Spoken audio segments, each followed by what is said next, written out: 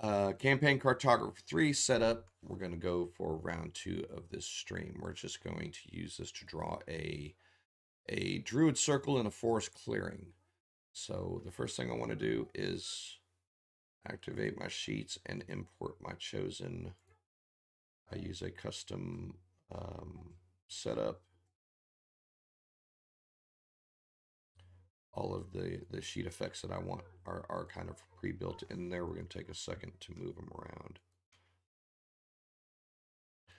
The program will draw in the order, as in the first thing on the list is drawn, followed by, followed by, followed by. So to make sure that you have what you want appearing the way you want, you want to make sure that you are setting up your sheet effect order correctly not overlapping your own work with something that shouldn't be there. Move you down.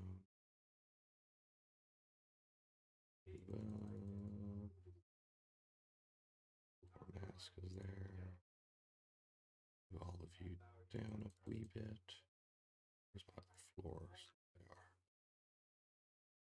A little tedious, but worth the effort. Once you get everything set up, it's it's genuinely worth the effort to have um, a custom set of sheet effects built for your software.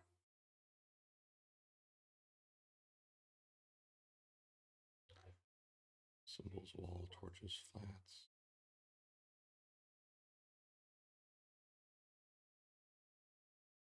Move down, move down, symbol up. Where's my symbols of medium? Yeah, we're going to move this whole section here to the top. Move up, not to top, but up towards a little more useful. Top dress is kind of what I use for the be all end all to make to cover up. I don't want to say mistakes, but walls taller should be down here. Medium, flat, low, medium. All right, I believe we are in business. Hit apply, go. So I've got a dirt and um, grass bitmap background.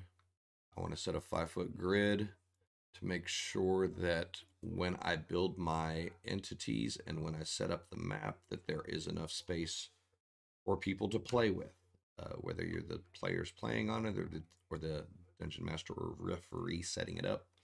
You want to make sure you have a play area for them. So yeah, we're going to kick that on. Um, if your software does it, make sure you apply your grid. Some software you got to do your grid after. Kind of sucks. Hopefully, hopefully yours will let you draw over a grid without affecting the grid. Um, yeah, okay. Uh, we're gonna go with a medium brown hill in the middle. I want to leave this off at about 20 foot off the map edge on top. Ooh, that's gonna be way bigger than I want it. Hit delete a couple times. I'm thinking kind of a, a bottom of the map approach for the party. So make sure to give them some space towards the top or back of your map, as it were, to do things, to move around, to use a flank. Okay. I want this to be, a, you know what? I want this to be bigger because it's actually going to be the hill that the uh, circle sits on. So I'm just going to grab it, make sure I'm still lined up with about 15 feet. I want to rotate it. Give, uh, I'm going to rotate it this way. Make it a little more oblong, 15, 15. Go, boom. All right, so we're going to turn this from a Druid Grove into a, a Druid Hill. Okay, I'm going to put this up on my hills. I'm going to hit effects to see what that does. Gives me a flat topped hill. Mm, no, I don't like that. I want to draw my own hill on top of it. I'm going to go to my bevel, edit the size down to 10. We're going to go 20. Make sure it stays as 1. Oh, you know what? I'm going to make it bigger and, and let the bevel do the work for me and give me a flat top. Yay. Okay, it looks a little funky with the edge. We can fix that with some with some uh, softening effects, but we definitely want a flat topped hill. I like that. Uh, and then next thing I want to do, I'm going to turn my effects off for now. No rough, you know, I'm to leave them on for just a second. So next thing I want to do is drew my structures. So I'm going to use my floor draw tool. I'm to go with dirt gray one straights. And we're to use snap for this. Because I want the uh, five foot five angle snap, cursor snap. I want to go five foot by four foot obelisks. And so I've used a simple draw tool to give me a nice good square. I don't, I want to make sure, because this, this is going to show up as a floor or as background. I don't want that. I want it to be a, a nice tall. Okay, so we'll see if, if, if autosave is helping me or killing me. Um, go to wall, go to shadow directional edit. I want this to be a longer Okay. So yeah, I've got my my base piece there. It's been, had its properties changed. It is now free for me to do whatever I want.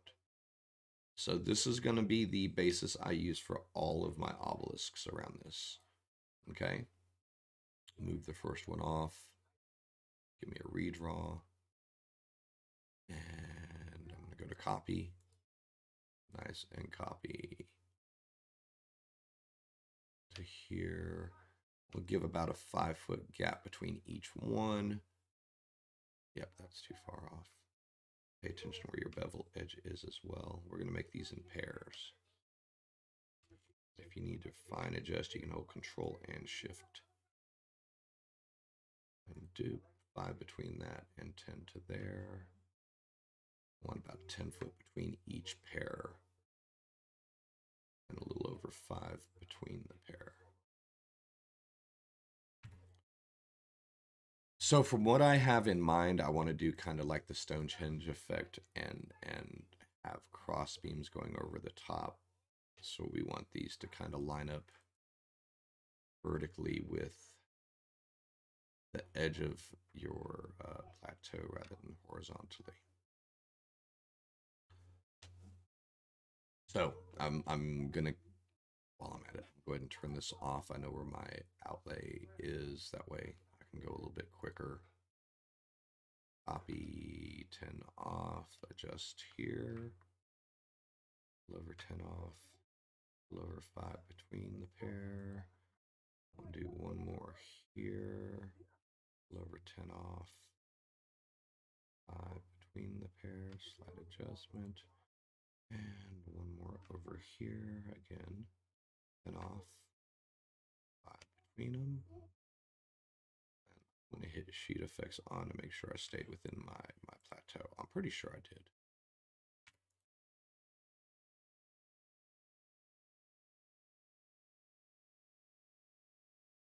So let's zoom. Ah, that's right on the edge. We're going to zoom out a tiny bit. Want to get the overview. Yeah, I'll take it. I'll take it. It gives us a little bit of a fronting area. Um,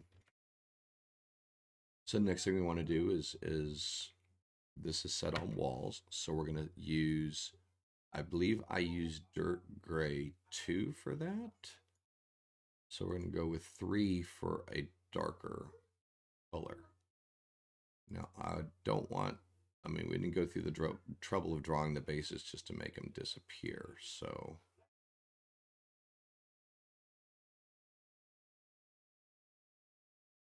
It's going to disappear underneath it because it's, again, going to the dirt layer. So I'm just simply going to assign it to what I have as walls taller. So now it's got nice depth. It contrasts against the bases below it. If you want to um, saving manually, because I don't want this thing to crap out on me again mid mid uh, play. But um, so yeah, if you wanted to reverse them, it's as easy as selecting these two. Say like you wanted the darker on the bottom and the lighter on top. You go over here and go to dirt gray 2 and hit OK. And it's the same color. It'll freak out if you leave it like that. And we're going to take this one to the dirt gray 1. Excuse me. Leave your layer alone or change your sheet back. We're going to fill style. And we're going to go to dirt gray 1. And this will pop to light. So personal preference is, is however you want. I'm going to, uh, you know what? I actually like that. The darker against the lighter, so I convinced myself. We're going to select all of these. Property, dirt gray 1. Hit bitmap. Hit OK. They stay where they're at. Everything else stays the same. And then I'm just going to copy. Oh, no, there's a dirt gray 2. Duh. I almost made an ugly mistake. Six, eight, ten. All right. We wanted the darker on the bottom. Stop doing that, Jim. Turn that off. Dirt gray 2 on bottom, 1 on top. Yay, we're in business. Copy entity. And then you just use your commands to rotate it around a little bit. This is built without engineering. So, for example, this one I'm going to, um, and remember, as long as you've assigned them to separate sheets, each of these are their own entities, and they still remain that way if you make them look the same, but they're a little harder to select. So, redraw. Some of these are a little bit close, so we're going to get in here and fine tune. I'm just going to select that object move it out a tiny bit in relation to the, the upper obelisk. And to there. That one's got to come over here quite a bit. Yeah, just a couple of tweaks. All right, so we've got our, our druidic circle. We've got a little bit of a can't really see it there with the way the bevel works, but there's a small extension up here. We've got a larger open area here. Let's just zoom out for about 15 minutes worth of work. We've got the basis for our map, okay? Center point focus, I that's how I kind of build. I try to make sure that my my my focus is is taken care of and then everything builds around it. Um, sometimes you don't even have a focus if you're just building a random forest battle map. You're cutting through the woods, you hear a sound. Well, let's go follow the sound. Okay, it might just be something they do. And, and you, the purpose of that map is to be generic enough to be adaptable to multiple situations, multiple different approaches. Unless you're building for a specific encounter or a, a, a, tip if you're building for the community, if you're building for your friends, if you're trying to, to, to get a, a, a content business going.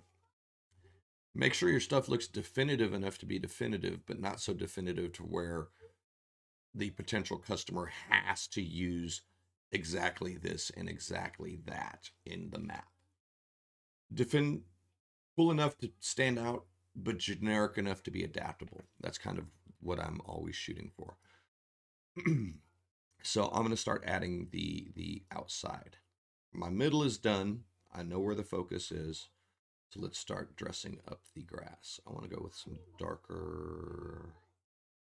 He's going to go right into it. Uh,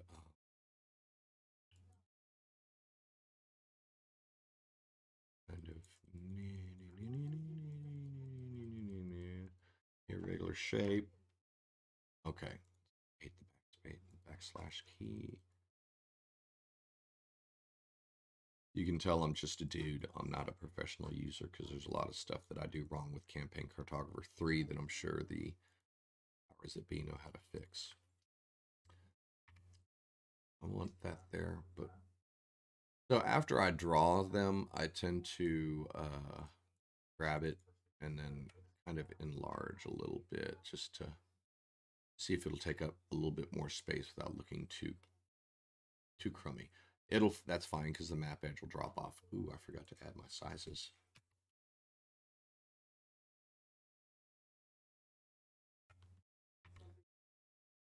Please don't crash me. Thank you.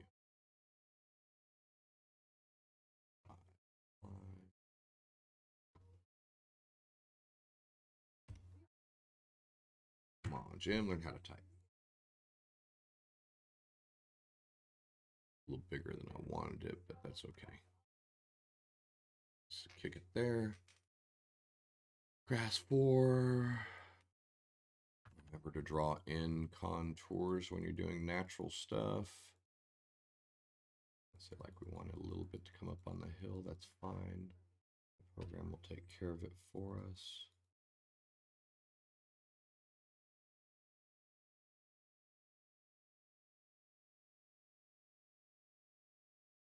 We're going to pop down to this side. This isn't a map for publication or sale. This is something we're drawing together for fun. Um, demo in the software as well as as you know some techniques for building and stocking your map.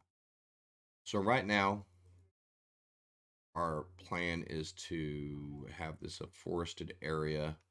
So sight lines are going to be an issue. They should be an issue most of the time. There's no need for a group to move if they can see everything from where they're standing. Then it becomes a big game game of kite the bad guy. Unless you're melee, then it becomes a big game of cross the gap and hope you don't take too much damage on the way in. But I digress. Pop you in a little bigger, just to fill in more space. I'm gonna take you, same thing. A little more space. come on, render. Uh, sure, it looks okay. I don't like. No, it doesn't. I don't like how the the grass. I'm gonna do something different for that the area where it crosses into the hill. I don't like that, so we're gonna take those back down a little smaller. Move them off away from the hill a wee bit.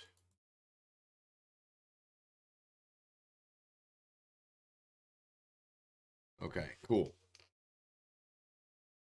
A entry is from the south. If you want to put a path in, you can use the same basic color terrain that you have. Uh, dirt 3, I believe, is what we were going with. Dirt 3 curved. Start down here. and You know what? Let's go with dirt 2 so it'll stand out against the, uh, the hill itself.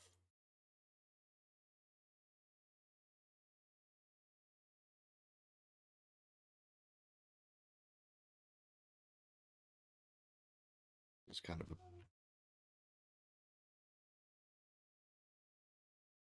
off my sheet effects for now. I don't need them right now, so I can draw a little quicker. No, no, no. Zoom in, get your details right, all of that good stuff. Assign that to outside too, just to make sure it keeps its edge fade against everything else. We're going to hit activate and see what happened. Okay, so yeah, you've got a, a kind of a, a worn trail up along that. Let's say we want to add some, some, uh, no. We're going to add some shrubs and bushes here in a second to the outside. Let's finish up with my central point just so we can be done with it. Uh, let's see what the symbol set has to play with. We're going to go with, first we're going to put a set of, of bobbling in the middle kind of as a, uh,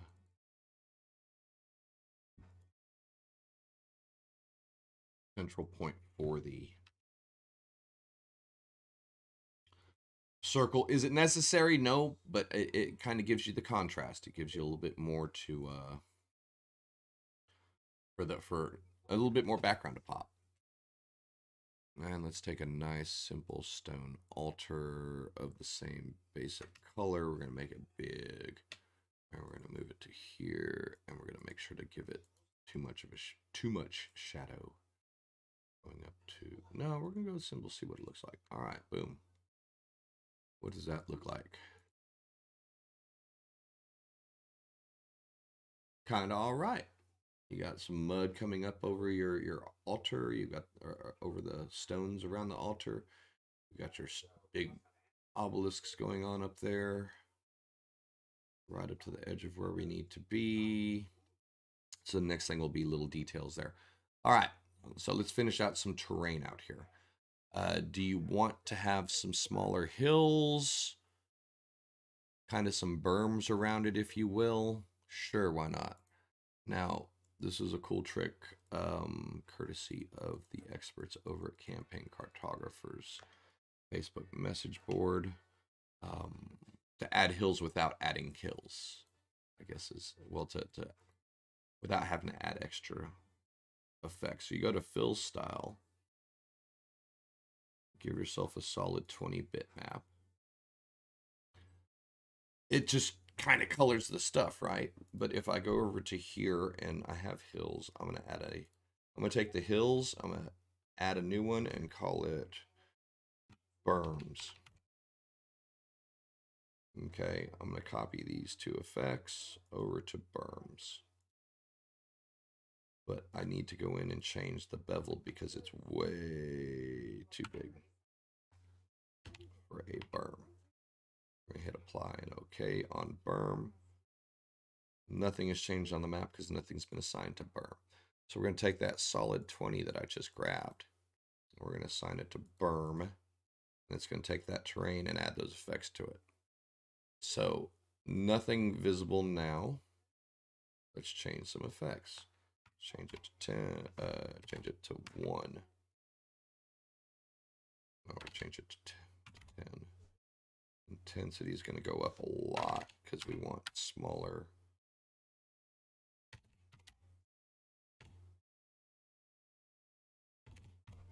And it's a smaller hill, so we're going to hit apply.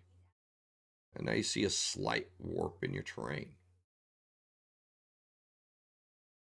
You have a, a bermed shadow without actually having to do a ton of stuff and add an object. Now, if I take this and make it bigger, it affects a bigger area. Just to get, but that's not what I want. I want, I'm gonna undo. I want the actual effect to take up more of the space that I did. So gonna take that to five. The lighting is good. The smoothing will take down to three. Apply. Want me to take it up to 20? I'm still learning uh, bevels and all that stuff. Yeah, that's a little better. So we've got a small warp in the terrain. We're going to add a couple of more of those just to add some dimension to the map. Um,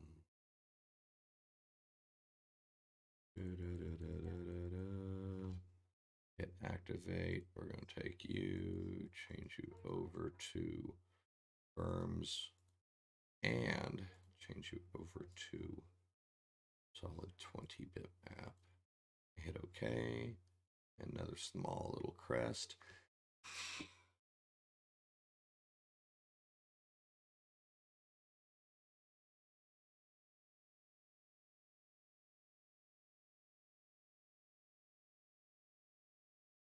Is the intensity too high? I just don't like how it's got a big crest on it.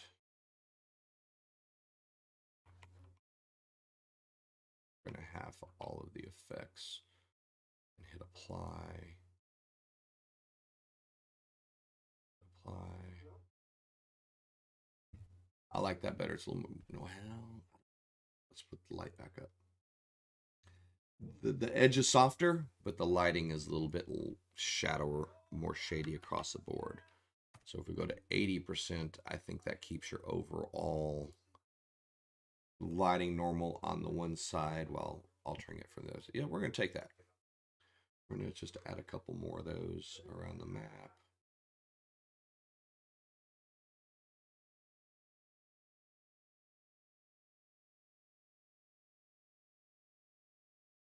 Go to.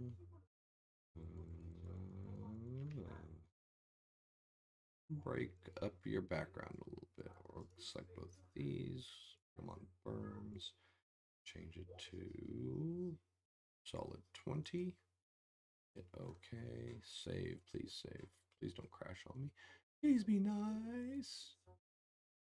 Well, I don't want to blame CC3. I'm running on a six-year-old computer here, seven-year-old computer.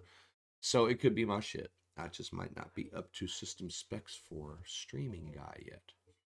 All right, so we've got some of that in. Let's add a little bit more color variation. Um, just a couple patches of lighter, just like some strips of like some crabgrass, weed garden type things.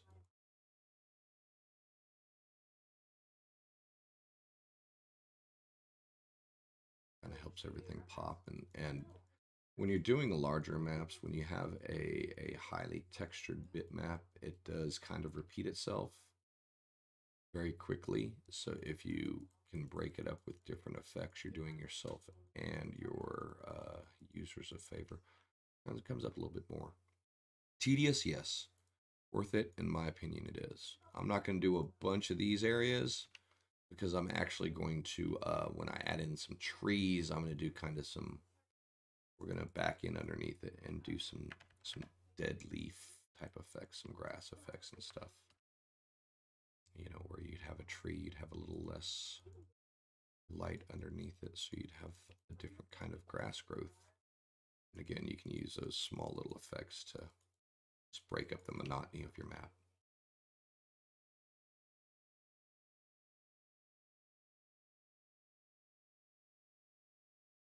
You get a little jaggy, that's okay. Uh, Edge Fade Inner is nice at saving you from some. Okay, so where are we at here? obelisks.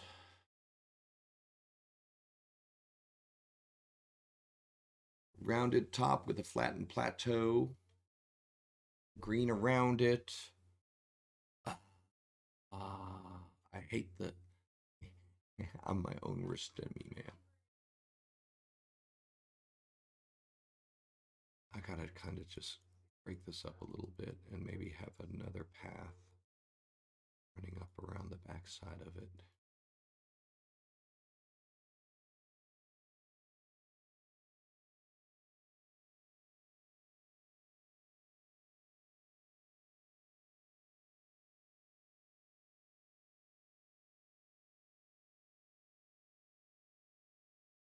That's barely visible. That's okay. It's just supposed to be barely visible. Just something to break it up a little bit. Add some some funk to it.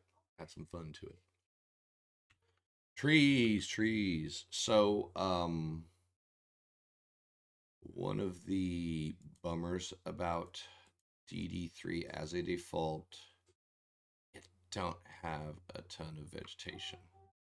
As in, you've got four bushes, two different bushes, two shrubs, two trees. So your map's gonna get stale pretty quick. So, um, either pick up the annuals, which I'm working on on getting Support my Patreon, buy my maps, do all that cool stuff. Help me build my collection. follow me on Twitch. Follow me on YouTube. DM Geezer Jim. Lots of content out there right now on Etsy for me. I have some lots of stuff on Etsy, some stuff on Patreon to try to encourage long-term support and followers. A couple publications on DM's Guild, just working on building content. But until then, I had to go digging around out in the uh, Twitter sphere, the, the the interwebs, and find as many variations as I could of public use assets. Um, so I'm actually just so you know what am what are you doing, dude? Okay, these are my default pieces of art. I'm gonna throw a tree on just just for fun, just to show you what it looks like in relation to. And here is one cool thing that that is when you use the default tool sets, the uh, they are set to randomize and adjust ever so slightly on uh, the angling and positioning of the symbols. You're stuck with two symbols, at least it helps you changing them out a little bit. We're going to go ahead and hit activate sheet effects. I don't know where they put trees on. Yeah, they're just symbols. I don't like trees with that low of shadows. So once again, I will go through, grab all of my trees. I didn't want that selected. We're just going to hold down control, deselect that. Hold down control, deselect that one, hit do it. We're going to put you guys on walls because you got better better shadows, a little bit more glow, pops the trees. Okay, those don't look bad. Um, there is a cool aspect of it. Some of your templates are designed to work with your color uh, color wheel selector so you can get another color if you were in there. But this is the default. So if when you where you look on your symbol selection, you see where it says option, you hit left, that's kind of the, the most recently used and your basics for your compasses, cartouche, uh, map rows and all compass rows and all that. You hit if you just click on where that folder is, takes you to where you are in your symbol selection. This is all dependent on symbols, castles, cities, cosmographers, dungeons, and then any other custom stuff you might have. Uh, it gives you a user folder. I didn't learn that till later, so I actually went through and made custom folders within modules. Problematic sometimes. Um, so far, it's been okay. Custom dungeon sort. This is where I've gotten all of my freaky uh, massive amount of, of public public domain purchased on DM's Guild, so on and so forth. Um, as long as you get something that is a PNG file with a transparent background, it will typically work okay. There's a lot more that goes to it as far as scaling, as far as making sure the symbol will scale within the measurements. So I'm not telling you to go pull down every PNG that you find. You will have problems because I did try that as well. but nonetheless, let's go to my custom vegetation. Oh, no, I want to go to trees. Go to just all others, click on it. So when you click on the first symbol in whatever folder you're finding, it will stock all of the pertinent symbols in that folder ready for use. Now, uh, precaution. When you're using custom symbols, they're not attached to any sheets. They're not attached to any layers. They're not attached to anything. So you need to make sure that you're going in and assigning uh, the layer, the active sheet prior to using your symbols and the active layer. That's right, doesn't come with uh, vegetation on this one. Bah. We'll go with uh, elemental just for organiz. This doesn't matter just for, but so these are some of the custom trees. They don't look great against other ones, but they look good with the symbol set. That's why I, I went ahead and used the, uh, that's why I like using DD4. You have a little bit more play. I'm going to show you what I'm talking about here in a second because I'm going to pull in one of the internal modules just to show you what I'm talking about. So as I'm drawing them, they're, they're getting the outline, they're getting the shade effect that's been assigned to that sheet already. So you, once you make sure that your draw settings, your, your effects and your layers are, are good to go, every time it redraws, it's going to add your shadows. Okay. So you have some contrast of the DD3 default trees against some imported third-party uh, artwork better, worse. I think different art works better with different styles. DD3 is your most. So what I'm going to do here is I'm going to go ahead and go back into here. We're going to go to symbols. I'm going to go to dungeons. We're going to go to Schley SS4. Beautiful vegetation. See all of the... When you're switching between symbol sets, between styles, between DD3 and SS4. If your map was built in DD3 and you go to the SS4 symbol set, anything that's been attached to the SS4 sheets is not going to show up in DD3. That's why you're seeing all of these funky colors over here. These are dead.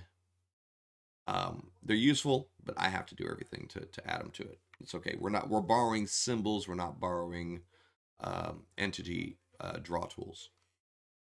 But yeah, Schley's a, a pretty good stuff. His I like his art.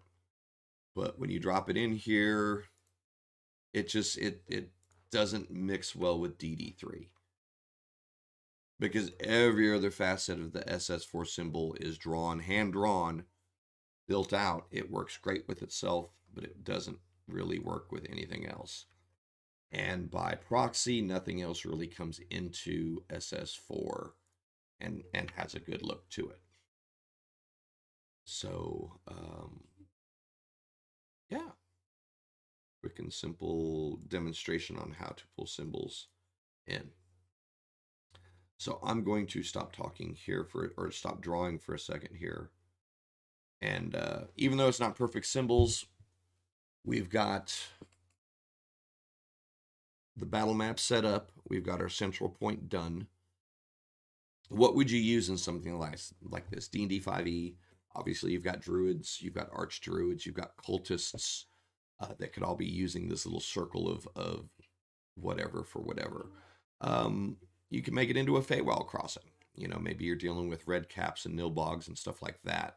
A hag or something that's got the the, the connection to the fate, the, the wild magics, as it were. Um, it could be an elemental temple. Maybe an earth thing, though I don't really see that. An elemental temple of earth would actually be underground. So I'm going to turn off the grid here uh, and, and just kind of zoom in a little bit.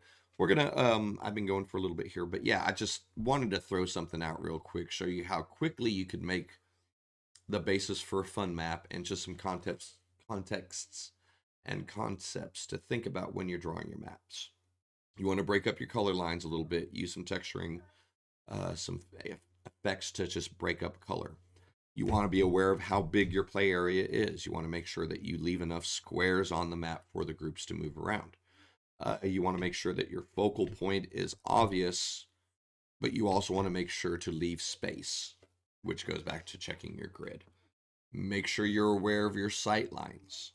If there is a point on the map from one where one person could see from one corner to the other corner without being obstructed whatsoever, is that by design? Here, let me just kind of we'll go into to playing around with DM thinking here now. I'm going to make that a foot wide. And we're going to change this to orange for a second. So if my player is down here, you know what? Let's have some fun here. This ain't the best map, but I want to go ahead and, and play around. We're going to take it to round two and, and how do you use this map? So I'm going to save this as a PNG and I'm going to go into my image-based PNG custom file.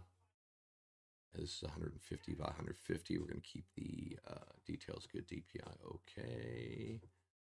I'm not trying to print it. I'm just trying to save it. We're going to turn on grid snap. Why are you not snapping? Boop. Why are you doing this, DM? Watch. I've talked about how I use in a couple other videos how I've used uh, command uh, uh, campaign cartographer 3 for a virtual tabletop. Let me go ahead and demo that while I'm drawing a quick and easy map.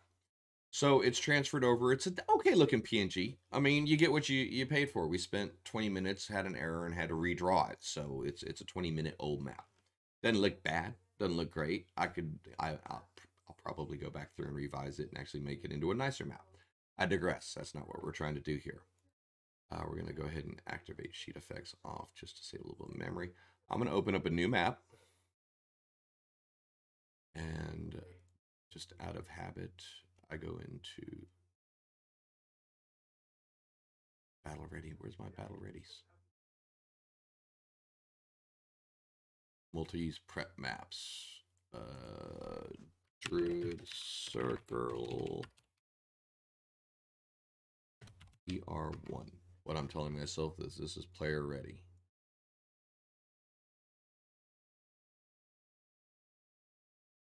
Come on, man. Yes, create the file. Yes, save this. Oh, come on, man. Oops. New. We'll try it again because it didn't make a new the way I wanted it to. I started. I opened a file, but I didn't do it. That's my dumb. 151, 150. Use the same measurements. Uh, style doesn't matter. Wizard doesn't matter because we just want a blank. Solid 10 bitmap is going to be my background because it's going to be non-existent here in a second. We're going to hit finish. This is what I was looking for. We're going to go into my CC Master FF. Quick battle map, treat it circle D. Uh, yes, replace it. Yes. Okay, so we're looking at a gray background. There ain't nothing here. So I go to draw. I go to insert file. I go up a level to my image-based PNG. I look for the map that I just did, Druid Circle. Now I'm going to use the absolute path because these maps are all in the same folder. That's why I that's why I have an, my folder external to CC3 so I can do this without having stuff mixed up. It does cause problems like if I ever have to reinstall stuff like that, I'm going to have a hard time getting things to work again. I'm going to pay for that later, but it is what it is. So make sure your cursor snap is on. Line up in your corner. Uh, that didn't work right. I'm going to undo it and I'm going to redo it because I clicked too soon. Insert file. Do use absolute path. Start in corner. Go down to no corner. Hit OK. Hit save. So now I have the map rendered in detail scrollable, much quicker to use. It's reading as a background now. It's trying it's not trying to render every object as it redraws. It's taken the map that I made, I turned it into the PNG, exported it back in as a background, and we're here. So, token treasury. Oh. Oh. Okay, stop it open to, I'm just clicking too quickly these days. I'm to click to here. Why are we giving me a hard time?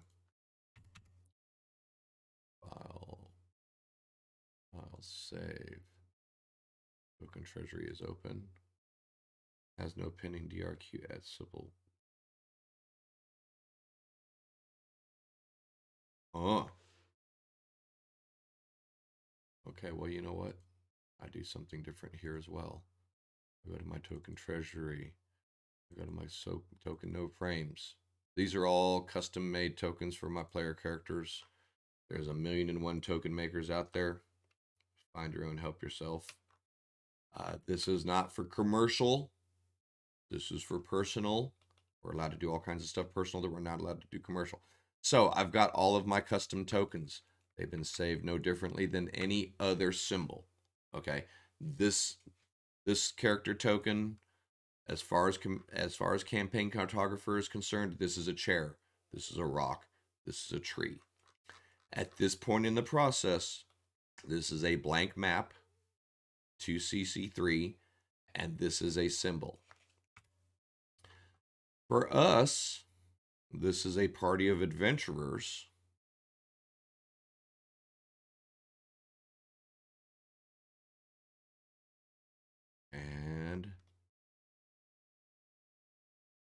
This is their enemy. Yeah, let's go to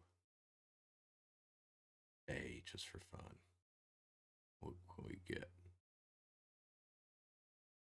Big old ugly green hag. Sitting here with her other sister.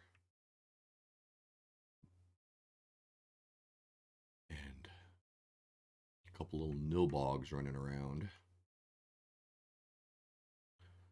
And maybe they have two satyrs that are guarding. Okay, so when playtime comes, I've built my map in, in Campaign Cartographer. I've exported my map back out as a PNG, re-imported it as a background. Grid is all intact, everything is ready to go, and now I've drop my custom tokens in. And all I do from here is do share screen through Discord. If you're a Discord user, you know what you're talking about. You can share screen. You can actually share application through Discord. That way, it stays just on on your map. Okay. So, um, make your map. Make sure you're paying attention to areas. Like I said, right now, these guys here. Let's go back to my draw tool. What I was wanting to do earlier. We're going to do this. Okay. So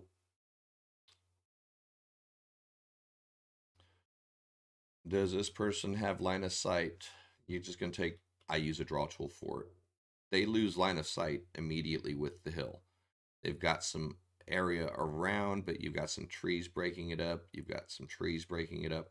So the hill in the middle is a big, uh, a big break point to their line of sight. So that's what you want. You know, typically you don't want the players to see the whole map the whole time uh, they have access to it. Uh, they have plenty of movement. Let's say the party says charge and wants to get up the hill. Ah, and they run up against the satyrs. Okay. There's enough movement in this area for all of your combatants to be in the forefront of it without any. You've got the slope as well to work with. There's more than enough space movement.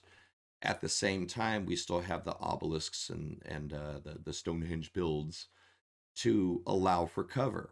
This dude sees these guys coming. Oh no, I'm going to run in here, hide under here. Oh no, I'm going to run over here and take opportunity attack, but now I'm going to shoot at you with partial cover. Oh, we're getting shot at. We have cover.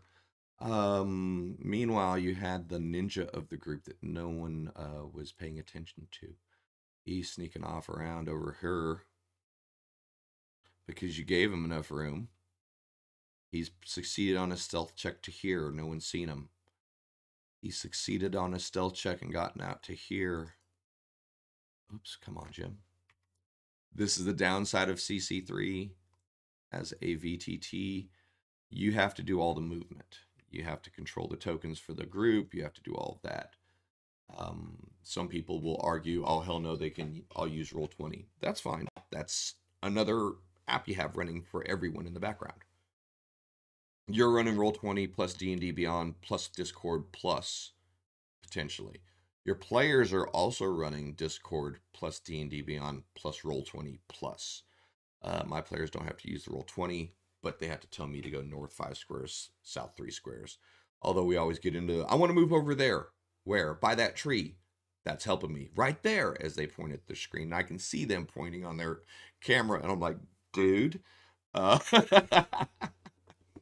But so in this situation, our our main party's tangled up here. They're seeing everything there, but they didn't notice that there were some bad guys on the back of the hill because of line of sight.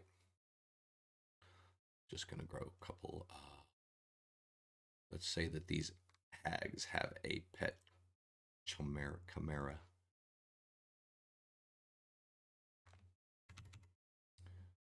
Did I freeze?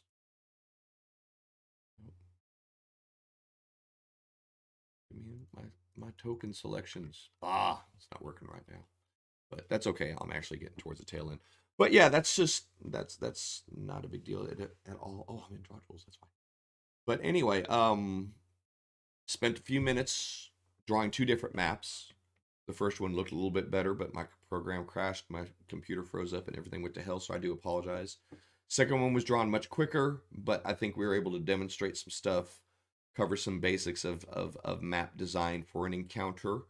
Make sure you've got space. Make sure you've got your center point. Make sure you're checking line of uh, line of sight. Uh, there are a couple other campaign cartographer three centric uh, points in here, so I will probably throw this up onto my um, my my tutorial series on YouTube as well. But if you've been with me here, I appreciate your watch. If you uh, catch this later, I appreciate your watch. If you're catching this on YouTube, thank you. Uh, you know what? Wherever you're catching it, thank you for your time. Appreciate you spending what you know your precious time with me. Uh, like the video, follow the channels, subscribe to the channels, follow the follow the the Twitch and subscribe to the YouTube and like the videos. Thanks a lot.